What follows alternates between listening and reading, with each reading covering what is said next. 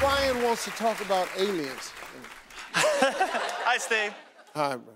Recently, President Clinton admitted when he was in office, he asked to review the Area 51 and the Roswell files. And um, he also said that he felt that there's probably uh, other life out there. I was wondering, do you believe in aliens?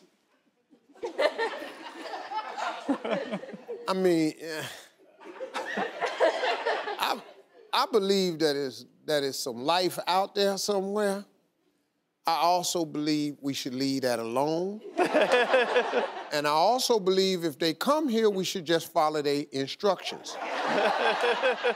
Because all the movies I've seen, when you fight back against the aliens, you get your ass tore up.